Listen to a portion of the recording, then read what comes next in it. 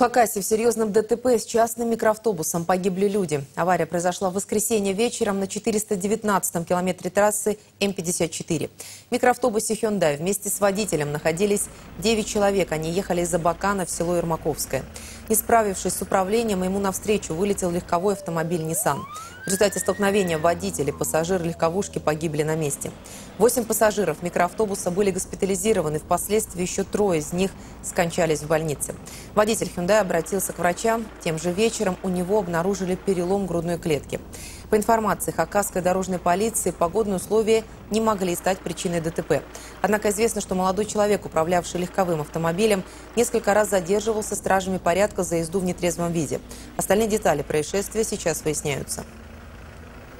Рулевой автомобиля Hyundai рассказал полицейским, что возвращался из Абакана в Ермаковское. Скорость автомобиля не превышала 60 км в час.